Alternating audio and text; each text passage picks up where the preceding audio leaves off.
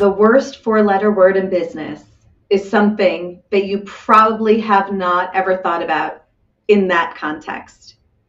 It's not profanity, it's not cursing, it's the word just. Let me give you an example of how just is the worst word that can be used in business. Hey, uh, I see you're really close to finishing that deliverable. Thanks so much. Can you just change this piece a little bit? Or maybe it was, hey, I know that we had decided that you were going to have this for us by the end of next week, but timing has changed on our end. Could you just get it in a few days earlier? Now that's coming outside of you from a client. You're recognizing that they don't understand the effort that you are putting in. They are minimizing that effort by thinking that you could do extra or do it faster. However, they're not really being totally transparent or straightforward that they're asking something of you that could be onerous, difficult, or impossible. They're kind of modulating the request with using the word just. On the other side, often women use the word just to feel a little bit less imposing. Just popping in to see if you had a chance to pay that invoice I had sent you a few days ago, or just wanted to know if that feedback that I've been waiting on was ready. So women use it when they are concerned that coming straight at asking for something they are entitled to will somehow be off putting. And clients use it when they're trying to get something or not do something they've committed to. In either case, the use of the word just is disrespectful.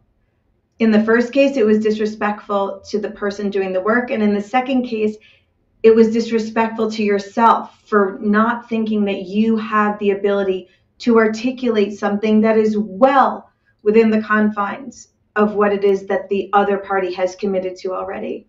I want you to be extraordinarily careful and on the lookout for justs. When you write an email, review it.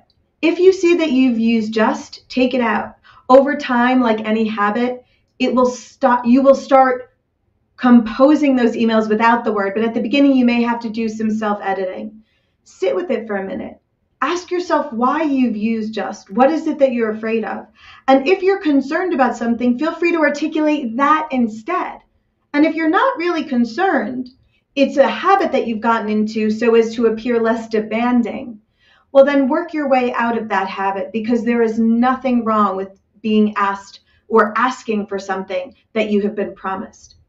On the part of being asked by a client, recognize that there are two ways this can go. The first is they don't understand how much it is that they are asking of you or how difficult it will be to change the deadline. So you can approach them with the idea of, I appreciate that things have changed on your end. I need to explain to you why it is that it's not possible for me to have things a few days earlier or to expand the scope beyond what we discussed.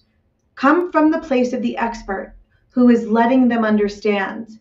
Don't be angry, but also don't do what they have asked for if it's outside the possibility of what you can accomplish well and in a way that you feel satisfied with the outcome.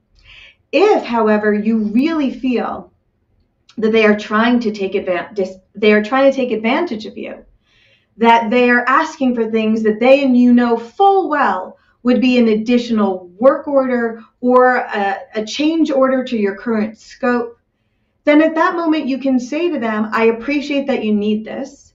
This is what it would take to do that time, finances, any other resources. Are you interested in doing this work around scope change?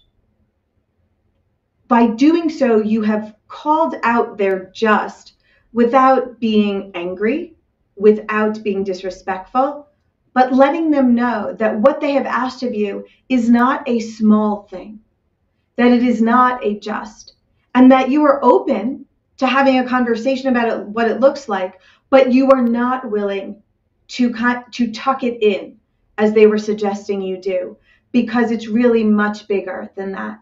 In so doing, you will stop using just in your work. You will make it clear to people with whom you work that when there is when there are changes that need to be made, you're open to it, but that you are not going to tuck it in.